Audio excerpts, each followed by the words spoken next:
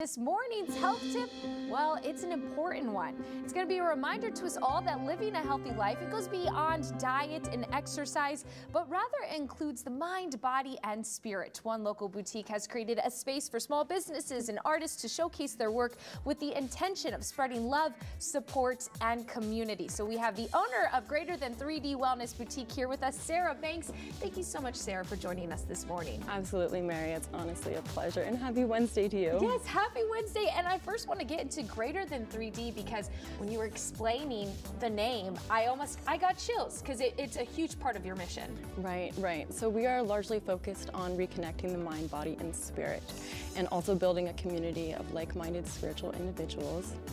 And believe it or not, my passion project actually came to me in a dream.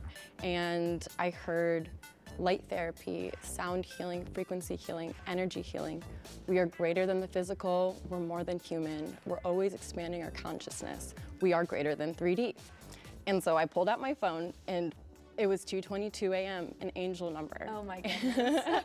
and I recorded down all of these downloads and here we are a year later and I've manifested my dream to fruition and it's just, it's such a beautiful feeling. And it's such a beautiful feeling. And so congratulations being able to recognize that and to work toward this goal. And I want to talk about what you all offer because it might be something that people don't realize is Very part of the wellness journey. Very true.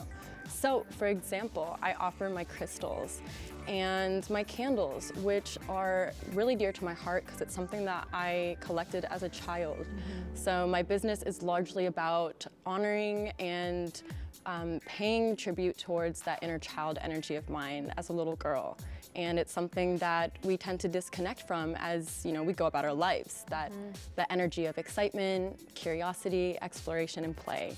And so that's pretty much what my boutique is about. And I get to hang out with that energy every weekend at my events. Um, but also what's really neat is these crystals, even though they may seem solid, for example, mm. are made up of a bunch of different atoms which are vibrating at certain frequencies.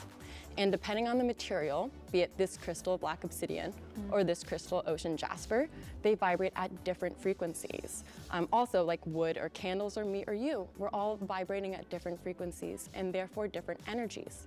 And this all goes back to quantum physics. So for example, also our five senses, we are limited in the wavelengths and light spectrums and frequencies that we can hear and see.